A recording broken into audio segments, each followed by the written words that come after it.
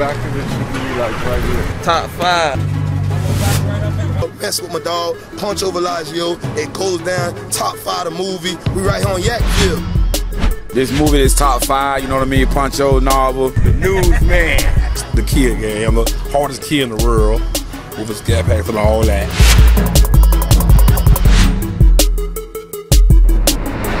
Wow, now that is what I call a movie.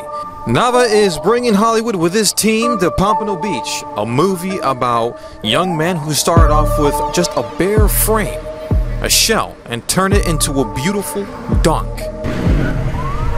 So tell us, you know, about a little bit about the film and yourself for those who may not heard about yet.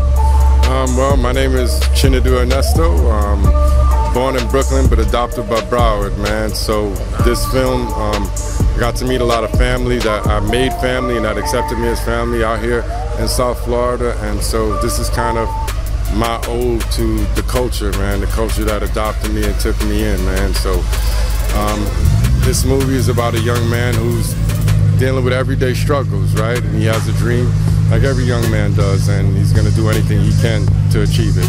So that's what this movie's about. And um, it looks like we are in the way of the crane, so we, are gonna have to move over here. Well, anyways, thank you, sir. Appreciate you. Yeah, no worries, thank you. I see that the Kia is stinging ever since the Sexyy Red music video shoot.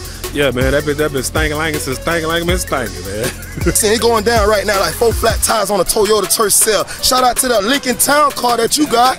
hey, it, it, it driving miles, it taking long. Hey, steady long, can't go wrong. Can't go wrong.